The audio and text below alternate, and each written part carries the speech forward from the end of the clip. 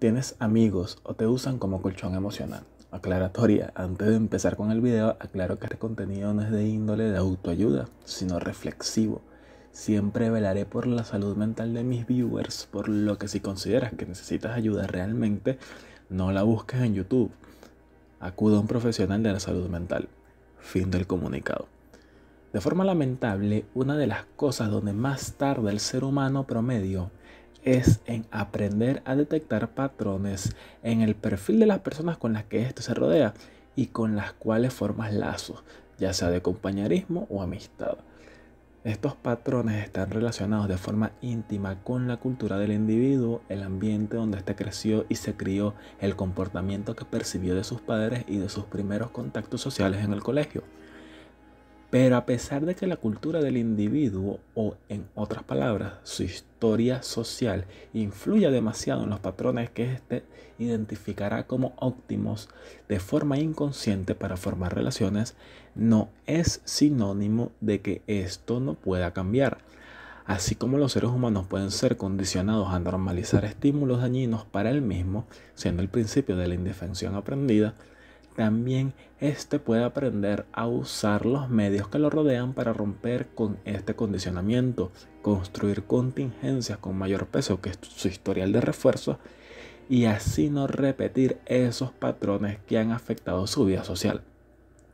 Habiendo explicado lo técnico de este video de la forma más resumida que pude, te planteo la siguiente pregunta. ¿Tienes amigos o te están usando de colchón emocional?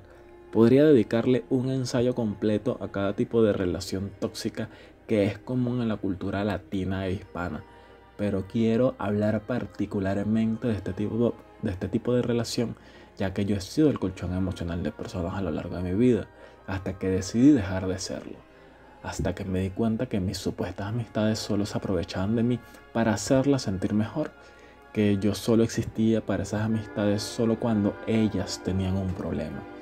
Ahora para aprender a detectar si eres el colchón emocional en alguna de tus relaciones te plantaré las siguientes interrogantes. La mayoría de las conversaciones giran en torno a él y sus problemas. Los problemas son repetitivos y a pesar de que éste dice que va a cambiar o solucionarlos, nunca hace nada. Pueden pasar largos periodos de tiempo sin comunicarse y cuando retoman el contacto la conversación rápidamente gira en torno a su vida y a los problemas de este.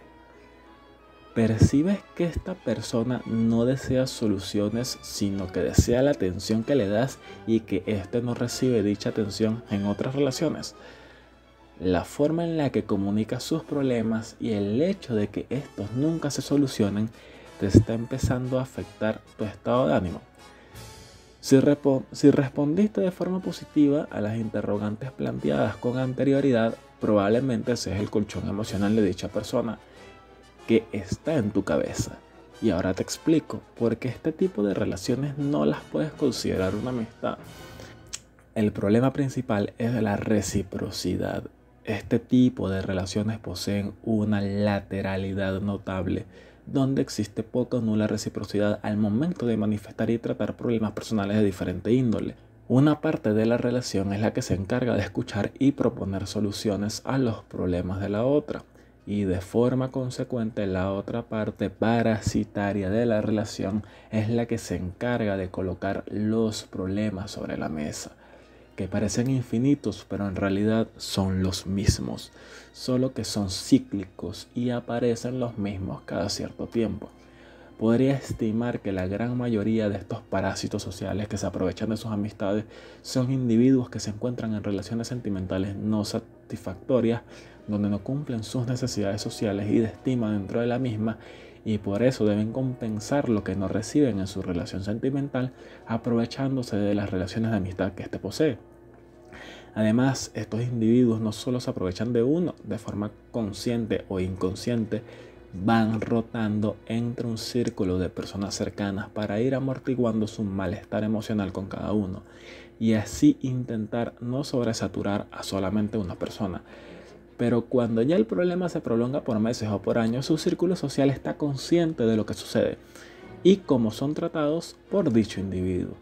La gran mayoría de las personas decide convivir con estas relaciones sin considerarla como un problema, ya sea por la carencia de otras relaciones, por la costumbre o por la importancia que le entregan a una relación de amistad que en algún momento del pasado existió y que realmente fue buena, pero que en el presente solamente beneficia a una persona, a ese parásito emocional de forma personal a quien sea que esté viendo este video le recomiendo no soportar este tipo de relaciones. Independientemente de lo buena que esta haya sido en el pasado más vale tu equilibrio emocional y tu paz mental que un supuesto amigo de hace años que solamente aparece cuando te necesita. Si considera que ya has hecho todo lo posible para ayudar a dicha persona si ya lo has acompañado lo suficiente ya lo has escuchado hasta el cansancio, a pesar de que se repita, de que le has aconsejado u orientado como has podido y de que incluso le has recomendado acudir con un profesional de la salud mental y los mismos problemas persisten, déjame decirte que esta persona no desea cambiar su realidad, no desea cambiar su presente, simplemente desea que todo permanezca igual mientras tú se lo permitas.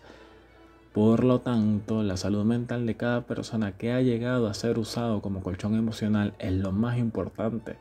Las relaciones sanas son recíprocas. Las relaciones sanas no giran en torno a la vida de alguien específico.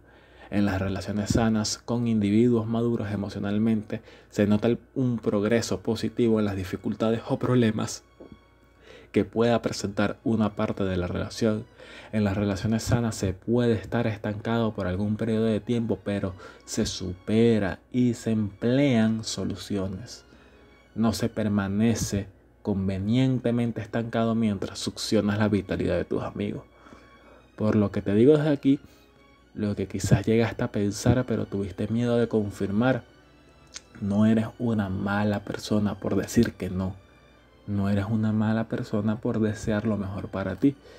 Rompe los patrones. Es sano cortar relaciones.